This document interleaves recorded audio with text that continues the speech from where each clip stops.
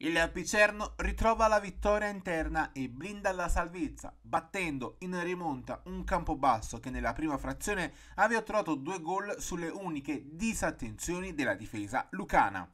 Con questa vittoria la squadra di Colucci non solo ipoteca la permanenza in categoria, ma balza all'ottavo posto, pronta così a giocarsi le proprie chance di playoff in questo finale appassionante di campionato. Il Campobasso passa in vantaggio dopo 20 minuti dopo che era stato il Picerno a farsi apprezzare per un predominio territoriale e possesso palla. A sbloccare è un gol di pace che dal limite dell'area dopo un primo tentativo svirgolato trova una conclusione che Viscovo non riesce ad intercettare. Al 34esimo reazione Picerno con un tocco di De Cristoforo per Parigi, sinistro respinto in tuffo da Raccichini sul ribaltamento di fronte Rossetti calcio dai 20 metri, la respinta di Viscovo viene insaccata da Emausso che raddoppia. Punteggio beffardo per il Picerno che sfiora subito il gol con una girata in aria di Parigi. Nell'intervallo Gerardi sostituisce Reginaldo, il Picerno svela il pareggio con un destro di Dettori che Raccichini alza in corner, dubbio contatto sull'esposto in piena area di rigore nel frattempo.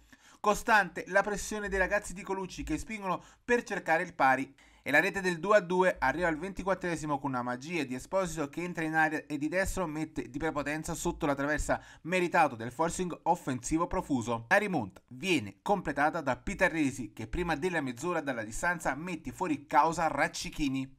Mister Colucci pertanto la ribalta con i cambi di Esposito e Pitaresi che danno nuova energia all'attacco melandrino. Successo più bello non poteva esserci, soprattutto per come è maturato. Il Palermo torna al successo dopo tre pareggi consecutivi estendendo il Taranto con un netto 5-2 nel recupero della ventiduesima giornata. Decidono le doppiette di Luperini e Brunori e la rete di Soleri. Inutili per gli ospiti i gol dell'ex di Gennaro e il sigillo di Riccardi. La formazione di Baldini, assente per Covid, la sblocca al terzo al primo tentativo con Luperini abile a girare in rete di testa un perfetto corner di Dall'Oglio. Al 36 è Brunori ad andare in rete con una girata su un cross basso di Valente. 5 minuti più tardi ancora il numero 9 con un gol di destro secca il portiere.